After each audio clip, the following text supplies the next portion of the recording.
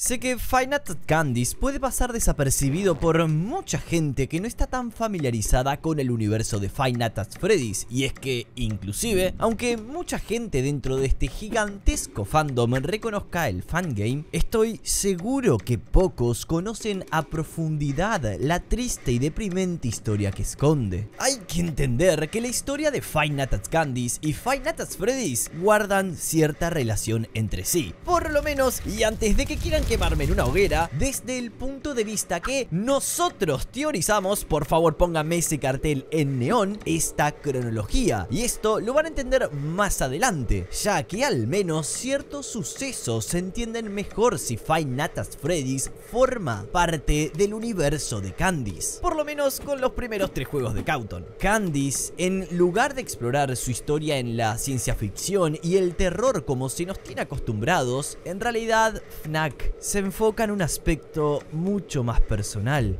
mucho más psicológico. 1961. Para ese entonces existía un teatro bastante popular, conocido como el Teatro de Rat y Cat, en el que, como se podrán imaginar, se tenía de mascotas a una rata y a un gato, siendo estos los principales personajes de este espectáculo vintage para el entretenimiento familiar. Pero también existía un tercer personaje, Vinny, quien es una marioneta controlada por un titiritero ventrílocuo. Estos serían la principal atracción del teatro, interpretados por tres actores que se ganaron rápidamente el corazón de los niños, al menos con los trajes y maquillajes puestos, ya que al final de cada obra estos eran seres humanos comunes y corrientes como cualquier otro, con sentimientos, problemas, vicios y males. Pero fuera como fuera, para la época, el estilo de música, los disfraces y la comida, sobre todo la comida, convertían a este lugar en un espectáculo digno de disfrutar tanto para niños como grandes. Así, los más pequeños iban a ver a sus personajes favoritos, que en realidad era un hombre de 45 años disfrazado de rata, pero bueno, ¿quién puede culpar a un niño para verlos actuar y cantar para ellos? Lo que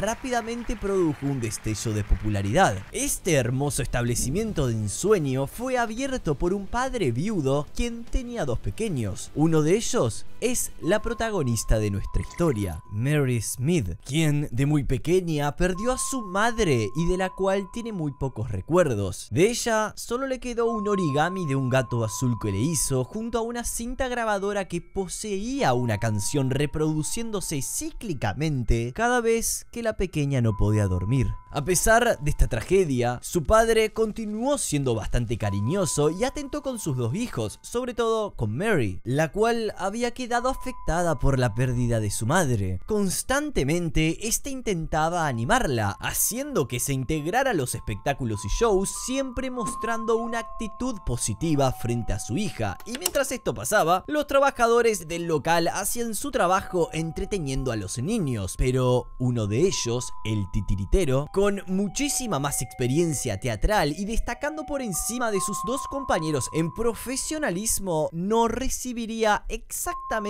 la misma atención y aprecio de parte de los niños. Y si me preguntan a mí, es lógico. A ver, miren la marioneta que usaba. ¿En serio vos me estás diciendo que esto le puede agradar a un niño? Estaba claro que algo iba a salir mal con esta persona. El titiritero simplemente era bastante ignorado por más que se esforzara en destacar en su trabajo, lo que poco a poco empezó a desarrollar en él un sentimiento de envidia y rencor, ya que no podía comprender cómo alguien con más experiencia, un diploma y disciplina quedaba a la sombra de dos novatos. Y aún que supiera que el actor de The Rat en varias ocasiones incluso había ido a trabajar totalmente borracho sin que su jefe supiera. Algo que, por supuesto, era inaceptable para un show de teatro con niños presentes y que molestaba aún más al dedicado titiritero. Los días pasaban comúnmente y llegaríamos al viernes 13 de octubre de 1961. Esta era una fecha importante, ya que en ese día, los actores revelarían al público el nombre verdadero de sus personajes, un espectáculo que el padre de Mary había estado planificando durante más de una semana y que había mantenido en secreto, incluso de su propia hija. Todo iba bien, los niños jugaban por todo el teatro, la música era fuerte, los padres eh, hacían cosas de padres, no tengo ni idea qué hacen, y todo parecía ir conforme al plan. Sin embargo, el actor de The Rat una vez más se había presentado a trabajar ebrio, y lo peor es que en esa condición había estado jugando e interactuando con los niños, algo que para el titiritero era inaceptable. Mary, motivada por su padre, decide integrarse al grupo de niños que estaba con el actor de The Rat para jugar también a su juego favorito, las escondidas. Rápidamente, todos los niños fueron corriendo para encontrar un sitio en el que esconderse, mientras que la rata contaba hasta cero con el fin de buscarlos. La niña buscó desesperada un lugar en el teatro ideal para esconderse, pero casi todos esos lugares ya estaban ocupados, hasta que en un descuido, The Cat deja la puerta abierta de la sala de empleados, lugar en donde la niña se escondería. Y a ver, pausen todos.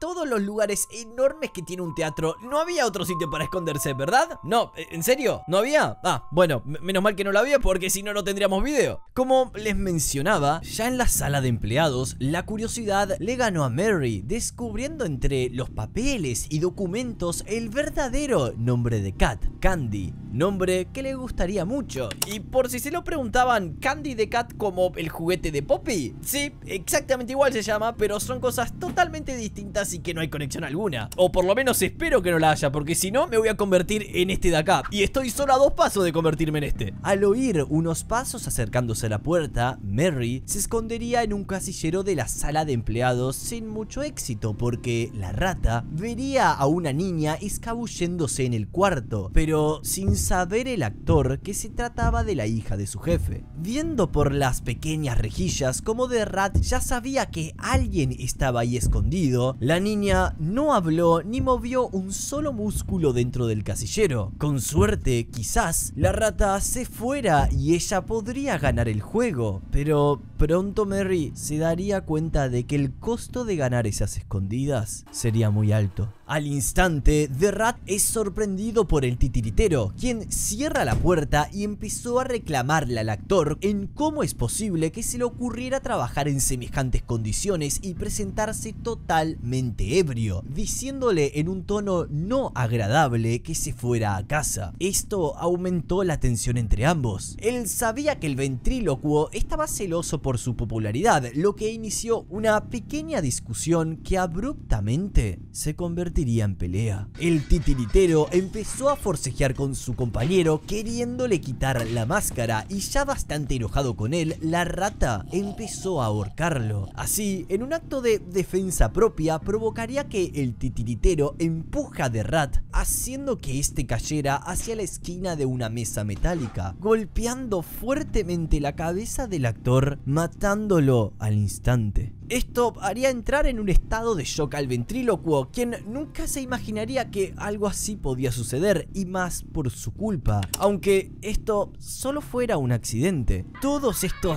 ruidos del alboroto se camuflaban gracias a la música y los gritos de los niños ignorantes de lo que había sucedido hace pocos segundos. Pero algo llamó la atención del actor de The Cat, quien, impactado, entraría a la habitación y cerraría la puerta rápidamente, preguntándole al titiritero qué es lo que había sucedido. Este, asustado, atónito y muy perseguido, le explicaría que había ocurrido un accidente tras una pelea. Sin saber qué hacer, el actor del gato trató de calmarlo y convencerlo de llamar a la ambulancia y a la policía para explicar qué había sucedido. Claramente, eso sería lo más lógico. La pelea podía haber simplemente sido un acto en defensa propia y al menos el ventrílocuo podía explicar bien la situación las autoridades, o por lo menos eso era lo que pasaba en la mente de The Cat. Todo esto, en lugar de tranquilizarlo, solo lo hizo entrar aún más en pánico. Ahora, totalmente inconsciente de sus acciones y aterrado, vería como en ese mismo instante, en el instante que el actor de The Cat marcó el número de la policía para decirle la verdad, el titiritero en un momento de total oscuridad ataca y mata a su compañero para de esta forma evitar que le dijera a la policía que era el culpable de un supuesto homicidio y no conforme con esto llamó a la policía declarando una falsa explicación de los hechos. Tomaría su diploma, sus documentos y dejaría la escena del crimen.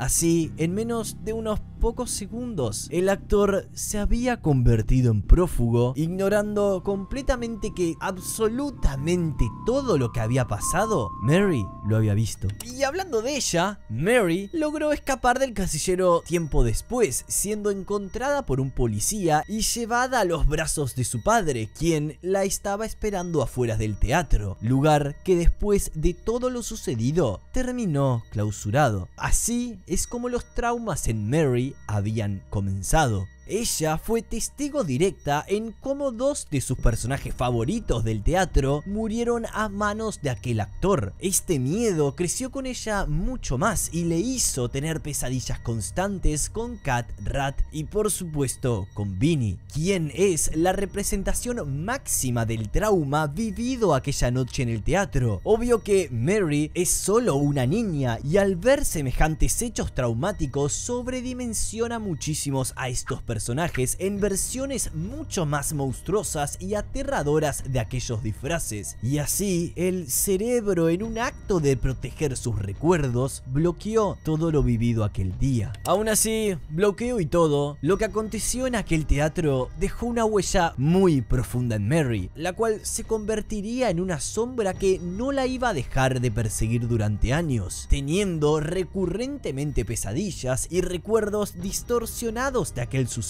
recordando ese momento de una forma monstruosa, siendo esta la razón del por qué veía a los animatrónicos Monster, The Cat, Rat y Vinny en sus sueños, y haciéndola ver a la pequeña niña como si todo hubiera sido culpa de ella. Esto en su mente la atormentaba. Quizás, si no se hubiera metido dentro de la sala de empleados a esconderse, tal vez nada de eso hubiera ocurrido en primer lugar. Su padre, bastante preocupado, la envía a una psicóloga para que le ayude a resolver sus problemas y tratar de descifrar por qué Mary no quiere o más bien dicho no puede recordar nada de lo que sucedió. Es por esto que en el tercer juego vemos algunas secuencias en los sueños de la niña y una voz que nos habla seguido para guiarnos. Esa voz no es nada más ni nada menos que la psicóloga quien trata de ayudar a la pequeña a entender qué era lo que le sucedía en su inconsciente en un intento de recuperar lo que estaba oculto en sus memorias. Así es que en una de las tantas sesiones, la psicóloga le dice que use algo en las noches que le dé tranquilidad. Por eso Mary decide utilizar la grabadora con la cinta de música que le colocaba su madre cada noche, para de esa manera poder aliviar las pesadillas. Pero hey, la historia siempre tiene dos lados. Y la del otro lado era la del titiritero, quien parecía irle muy bien. Porque además de salirse con la suya, a este le estallaría algo de fama después de los eventos acontecidos en el teatro,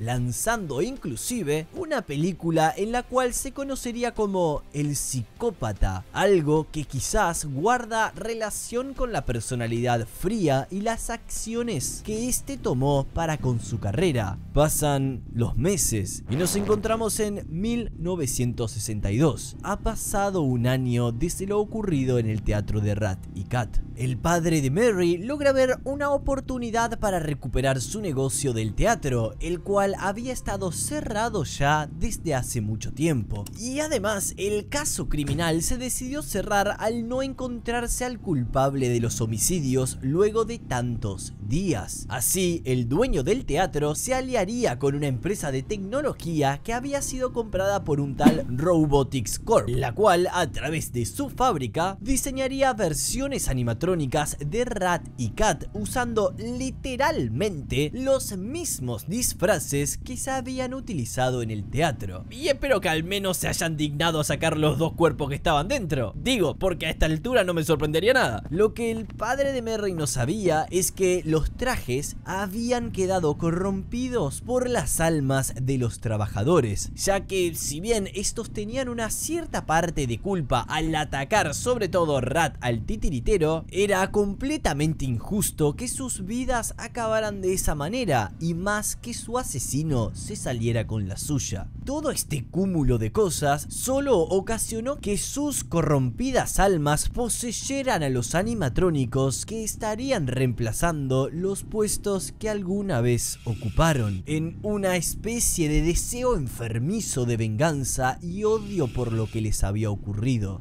Llegaría el día, y el 19 de noviembre de ese mismo año, la gran reapertura del teatro de Raticat era una sensación. Los animatrónicos se volvieron furor y recordemos que para ese año, 1962, hablar de animatrónicos era una tremenda innovación, ni siquiera la popular Fazbear Entertainment había entrado en escena todavía. Estos eran trajes animatrónicos realmente simples, pero que aún así, con una apariencia pintoresca, lograban cumplir con su programación. Tenían una movilidad limitada, sí, es verdad, pero seguían siendo trajes metálicos realmente peligrosos si alguna malfunción o algo más ocurría con ellos. Ese día, Mary fue junto con su hermanito a la reinauguración del teatro de su padre. Esta vez, desde antes ya estaba aterrada y llorando porque todo, absolutamente todo, le recordaba a ese evento traumático. Pero al otro lado, su hermanito estaba bastante contento. Miren esa cara de felicidad que tenía el chico. El tema es que, verán, el niño se fue acercando cada vez más al escenario donde estarían los animatrónicos. Quizás demasiado cerca de Rat, estando solo a unos pocos centímetros del robot poseído, el cual, sin que nadie pudiera percatarse de lo que sucedía, lenta pero peligrosamente se fue aproximando al pequeño Smith sin saber que de pronto este atacaría golpeando de manera brusca y rápida al hermanito de Mary. Algo que por lógica solo terminó de alimentar el trauma a la pequeña niña. Luego de una discusión con la empresa afiliada a la fábrica, los animatrónicos fueron devueltos para una revisión y determinar cuáles eran los fallos que tenían, porque a simple vista no había nada raro, pero nosotros ya sabemos lo que es. Lo es que la fábrica había aceptado pagar los gastos médicos del niño, pero marcando un adiós del padre de Mary al teatro. Así es como Robotic se haría con los derechos de Rat, Cat y Vinny. Pasa un año del incidente con el hermanito de Mary y es 1963. No todo sería tan trágico en esta historia y es así que las constantes visitas de Mary a la psicóloga aparentemente estaban dando resultados, logrando reconocer y recordar de a poco los eventos que ya habían ocurrido hace dos años y hacer que ella describiera exactamente lo que vieron aquellos ojos. Al darse cuenta del todo todo lo que Mary le contaba, la psicóloga llamó de inmediato a la policía y así fue como el caso se reabrió para luego, solo días después, se diera con el titiritero como culpable de los asesinatos. Finalmente, la niña pudo confrontar a la versión monstruosa de Vinny para liberarse de su trauma y pesadillas. Pero esperen, acá es donde quiero aclarar algo. Para que quede muy en claro, Vinny es la representación de los traumas de Mary. Por eso, en esta última noche nos enfrentamos solos cara a cara contra este, dando a entender que nuestra psicóloga había llegado a aquella marioneta que controlaba el titiritero. Luego de un tiempo, la psicóloga logró determinar que Mary no necesitaría más sesiones y que la última que tendrían sería el 14 de junio de 1963, marcando así la última vez en la que ella tendría que confrontar sus peores miedos. O al menos eso creía. Han pasado tres años de esa oscura noche donde Mary presenció uno de los mayores traumas de su vida. Estamos en el 13 de noviembre de 1964, día de la fundación de CTC Entertainment, o mejor conocida como Candy the Cat Entertainment, una empresa que serviría para hacer del nombre de Candy de nuevo al foco comercial. La fábrica había estado trabajando en dos animatrónicos nuevos, Candy el gato, una reversión de The Cat nueva y Blank, una especie de animatrónico para colorear y si me preguntan a mí, mi favorito, pero desechando totalmente a The del elenco de personajes, ya que el público lo relacionaría con el incidente ocurrido en el 62, pero en vez de destruirlo, quemarlo o mandarlo al espacio en un cohete, no, lo dejaron abandonado en el almacén de su propia fábrica. ¿En serio? Así es como una noche, a través de una grabación de seguridad, logran captar a The Rat moviéndose y recorriendo la fábrica como si fuera su casa durante la madrugada, lo que nos demuestra que la sed de sangre seguía vigente. Por suerte, no había pasado nada, y en 1965, finalmente, el gran proyecto de CTC Entertainment sale a la luz. Candy, Burger and Fries, transformando la idea original del teatro en un restaurante de comida rápida, hamburguesas y papas fritas, además de colocar en el escenario a sus dos estrellas principales, Blanc y Old Candy. Y todo parecía bien, demasiado bien, hasta que en una noche una sombra similar a Old Candy llamado Shadow Candy apareció en el restaurante activando a su contraparte animatrónica, siendo probablemente manipulado por el espíritu del empleado de Decat para así poder matar. Así veremos cómo el animatrónico comienza a moverse por el restaurante durante la noche, cuando no había nadie más que un técnico. Por suerte, este se dio cuenta y logró desactivar a Old Candy con un taser eléctrico que la empresa le equipó en caso de que alguno de los animatrónicos lograse despertar. Porque sí, ellos sabían que los animatrónicos actuaban de formas extrañas y no querían otro incidente en su local. Nada realmente interesante sucedería hasta 1976. Como les estaba contando, y si no prestaron atención, al restaurante le estaba yendo bien, por la simple razón de que los espíritus de los actores estaban lejos, confinados en los animatrónicos de Rat y Cat dentro de la fábrica, y estos espíritus trataban de activar a los robots de la hamburguesería cada cierto tiempo en un intento de saciar su sed de sangre. Aunque en ese año, otro de los animatrónicos se activaría misteriosamente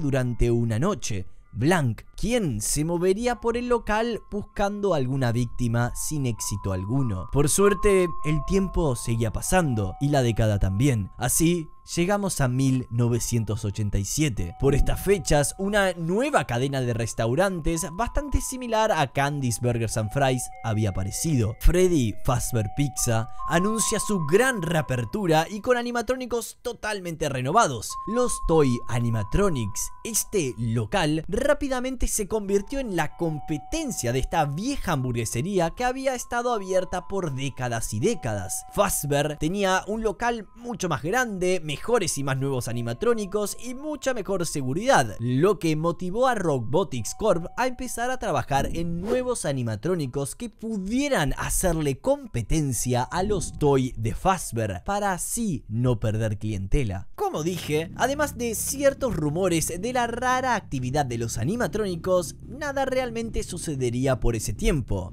Nada hasta que un día Shadow Candy apareció nuevamente. Esta vez en el medio de un día común, como cualquier otro en el restaurante, activaría a Old Candy, moviéndolo por todo el edificio en búsqueda de una víctima. Al final logró su cometido. Este era un hombre mayor que hizo llorar a un niño, niño al que Old Candy ya había visto, se lo había encontrado escondido en la oficina llorando, pero ver una sola vez más ese niño llorar fue motivo suficiente para que ésta actuara de forma agresiva contra el adulto, alterando su programación amistosa. Así es como este restaurante familiar tiró por la borda años de cuidada seguridad y siendo la oportunidad perfecta para que Fazbear Entertainment reluciera o al menos por un corto periodo de tiempo. Después del terrible incidente en Candy's Burgers and Fries, CTC Entertainment definitivamente se dio cuenta de que debían renovar su imagen para volver al negocio, y por eso decidieron sacar nuevos animatrónicos. Uno nuevo llamado Candy the Cat, que sería una versión muchísimo más amigable que la anterior, y Cindy the Cat, la acompañante y hermana gatuna que estaría junto a Candy en el escenario. También, y no me puedo olvidar de ellos, incorporarían dos animatrónicos totalmente nuevos a la franquicia, Chester el chimpancé y un adorable pingüino que serviría como mesero del local. Blank sería vuelto a traer a la fábrica tras una revisión, pero no le encontraron nada raro, distinto al caso de Old Candy, quien sería almacenado y suspendido en el restaurante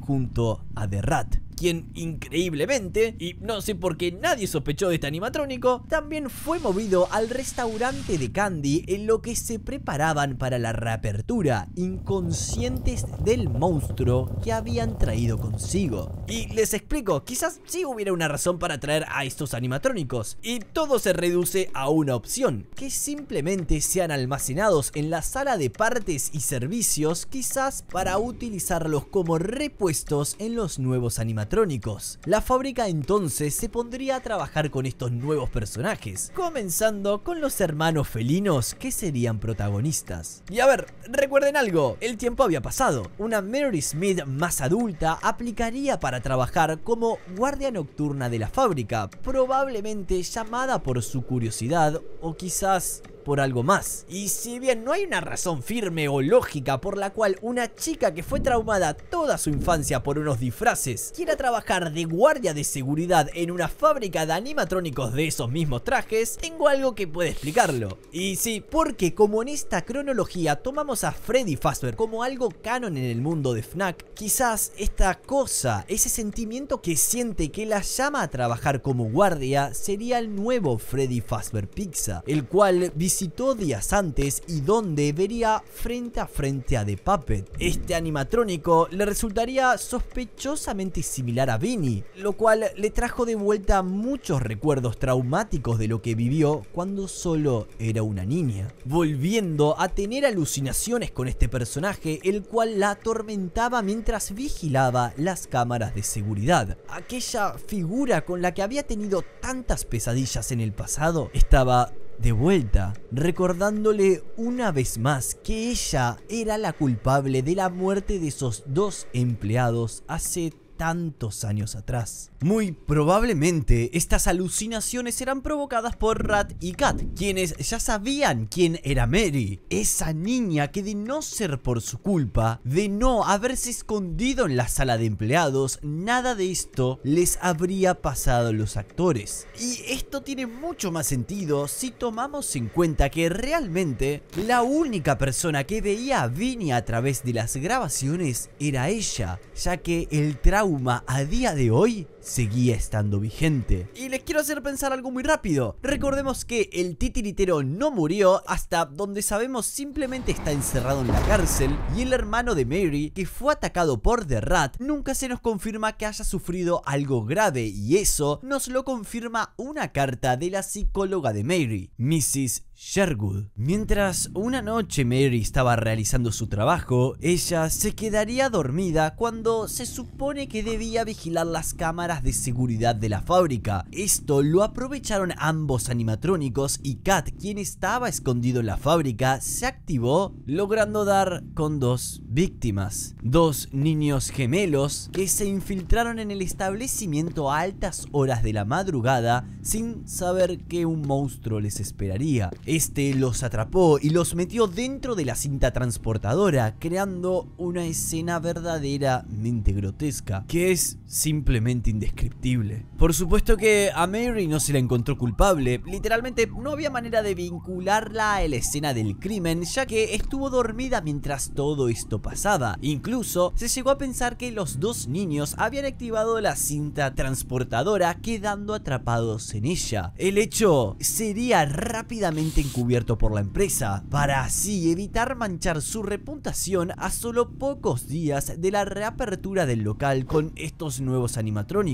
Ahora esas dos nuevas víctimas se corrompieron desarrollando un incesante deseo de sed de sangre, poseyendo a Candy y Cindy. Finalmente, el local logró abrir las puertas en noviembre de 1987. Ya los animatrónicos nuevos estaban terminados y Mary fue transferida como guardia del restaurante al que se aplicaron algunas mejoras de seguridad, como por ejemplo visión nocturna en el sistema de cámaras. Todo esto en función de hacerle competencia a Fazbear Entertainment y su Freddy Fazbear Pizza, el cual había sufrido uno de los peores acontecimientos que lo llevó a su cierre.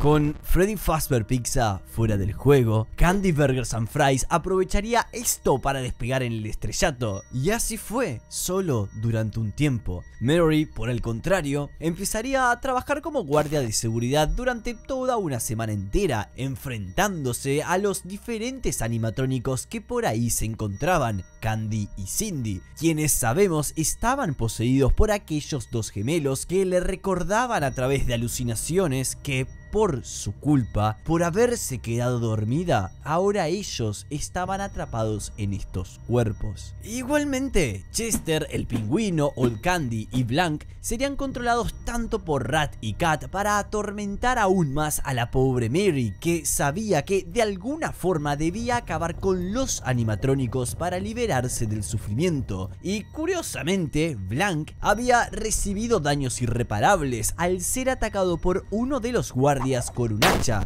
guardia el cual desapareció sin rastros a manos de la rata, ayudado por su compañero Cat en forma de Shadow Candy. Lo importante es que con muchos problemas, Mary completó su jornada laboral después de esa semana, enfrentándose exitosamente incluso con The Rat, quien lograba salir de vez en cuando de su escondite, y a Shadow Candy, quienes la atormentaban buscando desesperadamente matarla, porque sabían algo, sabían que el objetivo de la chica era destruirlos una vez que acabara la noche. Así, Mary lo logró solo gracias al origami de gato que tenía desde niña, el cual simbolizaba muchísimo para ella al ayudarle a cómo enfrentar sus miedos y siendo de los pocos recuerdos que tenía de su difunta madre. A la mañana siguiente, ya victoriosa, Mary se dispuso a acabar con todo aquello que la atormentaba, tratando de modificar a los animatrónicos en un intento desesperado de lidiar sus almas corrompidas. Sin embargo, mientras Mary estaba haciendo de la suyas, fue capturada con las manos en la masa destruyendo a los animatrónicos Candy y Cindy. Obviamente que esto no le gustó para nada a la empresa y fue despedida de su empleo inmediatamente. De ese suceso pasaron muchos años y así llegamos a 1993. Ahora, la empresa, después de todo lo ocurrido, decide crear unas nuevas versiones de los animatrónicos Candy y Cindy, usando sus modelos previos como base, pero modificándolos ligeramente. En realidad, esto ya lo habían hecho incluso en 1989, pero nada realmente significativo pasaría por esas fechas hasta el año en el que estamos ahora. Por cuestiones de gastos y para ahorrar, en lugar de modificar a todos los demás animatrónicos, solamente la empresa se limitaron a hacerlo con los dos gatos. Después de todo, eran los más populares del restaurante. De cualquier forma, esto serviría de poco, porque Chester, controlado por The Rat años atrás, lo liberaría de su almacén solo para destruir al chimpancé en el año 89 y provocando la muerte de otro guardia de seguridad en el 93. Por eso, cuando la policía llegó, verían el suceso como otra malfunción de los nuevos animatrónicos, haciendo que la empresa finalmente se viera forzada a cerrar las puertas de Candy's Burgers and Fries. Y no se olviden, seguimos en 1993 y debido a todo lo ocurrido, CTC Entertainment había quebrado después de los constantes cierres y eventos desafortunados con los cuales no supieron lidiar. Ahora Candy, Cindy, Rat, Cat, Old Candy, Blank, Chester y el pingüino, sí, se hicieron un montón de animatrónicos de la nada, serían prisioneros en esta fábrica por más de una década entera, sin ninguna víctima más a la que enfrentarse, solos en sus prisiones de metal. Corría el año 2007, específicamente agosto. Años pasaron después de tantos acontecimientos y Mary ya se había convertido en madre, en madre de Marilyn Smith quien era una adolescente algo curiosa por ver qué había dentro de la fábrica. Por eso, y tras ser retada por sus amigos a pasar varias noches dentro, Marilyn decide entrar. Y espero que por lo menos el premio de la apuesta haya valido la pena. Mintiéndole a sus papás, ella pasa varias noches enfrentándose a los animatrónicos que la empezarían a acosar, teniendo como único medio de defensa una cámara de seguridad y su celular. Celular que mantendría cargando todas las noches, lo que poco a poco deterioraría el sistema de voltaje de la vieja fábrica. Y sé que parece un detalle menor, pero acuérdense de esto. Y si se lo ponen a pensar, Marilyn se estaba enfrentando a todo esto sin saber que años atrás su madre literalmente hizo lo mismo. Ahora, ya en los zapatos de su madre y con mucho valor, pasó esas 5 noches contra los animatrónicos, los cuales, alimentados por la sed de venganza y confundidos con la apariencia de Marilyn, la cual les recordaba mucho a la de Mary, la atacarían constantemente cada noche. La sed de sangre y el odio que le tenían a Mary era evidente. Y esto hasta se manifiesta en el juego, porque si los animatrónicos Cat o Rat no se encuentran, estos literalmente nos molerían hasta dejarnos irreconocibles, algo que no se compara con el cartel de desaparecida que se nos presenta al perder a manos del resto de animatrónicos. Afortunadamente para Marilyn, esta lograría sobrevivir todas esas noches intacta. Un poco más tarde nos enteramos que esta fábrica va a ser demolida, pero, pero, Marilyn se les adelantó, ya que accidentalmente incendiaría este lugar gracias a su celular que dejaba cargando todas las noches en un viejo sistema eléctrico que no soportaba la carga. Sí, lo sé, un poco conveniente para la trama, ¿no? Pero es que literalmente pasa así. Las autoridades jamás lograron encontrar al culpable de esto y Mary, sin saberlo, finalmente, después de tantos años, era libre de esas pesadillas que la dejaron traumada. De la manera más absurda y casi poética, los monstruos que aterrorizaron a la pequeña Mary se habían ido gracias a su hija, marcando un final para la historia de esta fábrica y a los personajes que su padre ideó tantos años atrás, superando ese trauma que la dejó marcada alguna vez, al menos hasta que salga la cuarta y última entrega.